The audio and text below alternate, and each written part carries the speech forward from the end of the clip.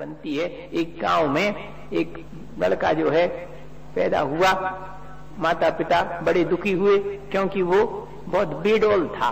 रूप रंग भी उसका अच्छा नहीं था, शरीर भी जो है सुंदर नहीं दिखता था।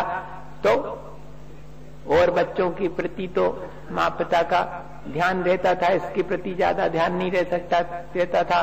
करो, खा लो, जैसो हो मिल जाए सो करता रहता था। थोड़ा बड़ा हो गया अच्छा पढ़ने लिखने में भी अल्प बुद्धि था।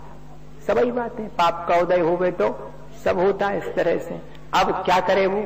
उसने सोचा कि अब इतने कोई चाहता भी नहीं है, चलो अपन शहर चलें, कोई काम मिल जाएगा तो करेंगे। अब शहर में पहुँचा तो एक ठेला लगाने वाला, उसमें अपनी चाय पानी की जो भी दुकान थी ठेले में, लगाता था, जैसे लोग लगे, लगाए रहते। तो उसी के पास में और रात में, अब क्या करे, कहा जाए? तो वहीं ठेले के पास सो गया। सवेरे से उस ठेले का मालिक आया तो उसने देखा कि ये यहाँ पर सोया हुआ है। तो उससे कहा कि क्यों? कहा से आए? तो उसने कहा, गाँव से क्यों आए? कहते, कुछ काम मिल जाए। तो कहते, जाओ, वो देखो, वो सब चाय के जूठे बर्तन रखे धोगे क्या? कहते, अभी धो देता हूँ। ये भी नहीं पूछा कि क्या दोगे अभी धो देता हूँ। तो धो दिया पानी भर भर के जल्दी जल्दी ले आया हैंडपंप से और सब धो धोआ के बढ़िया से।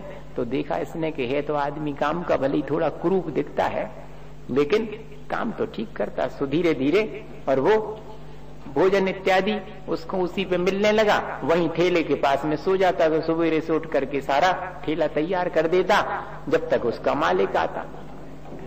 वो मालिक उसकी कुरूपता की से और शुरू में जो ग्राहक आते थे, वे उनको सामना न हो जावे सो उसको जानबूझ के पानी लेने भेज देता था उस समय जबकि ग्राहकी शुरू शुरू में चलती। इतनी उसकी कुरूपता थी। ये देखना आप, विचार की बात।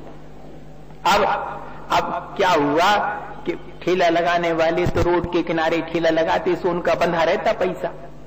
है? कि इतने पैसा दे रही हो, सो हमने हटाए इतने से। और अगर तुमने दे हो तो हटवा देंगे।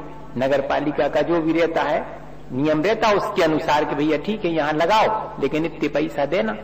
अब वो जो ठेले वाला था, उसकी इतनी इनकम तो थी नहीं कि उतने चुका सके धीरे धीरे चुकाता था। तो एक दिन उसको नोटिस मिल गया कि अगर तुमने दो दिन के अंदर और हज़ार रुपया नहीं भरे तो तुम्हारा ठेला यहाँ से हटा दिया जाएगा।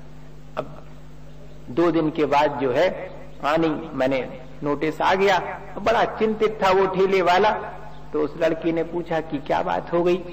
तो कहते कि वो हमें नोटिस आ गया कि अब हटाना पड़ेगा यहाँ से। तो लड़का भी सोचता कि अब मैं कहा जाऊँगा जी ठेले वाले के यहाँ तो मैं थोड़ा काम करके और कुछ पा लेता था। अब देखना आप, दो दिन के बाद में वो तो इंतज़ार कर रहा है कि अब आता है कोई और हटाने के लिए और कोई नहीं आया हटाने के लिए। बल्कि शाम को जो जो हटाने आने वाले थे औरों का तो हटाया उनने। इससे कुछ बोली नहीं। इसको बड़ा आश्चर्य हुआ कि हुआ क्या?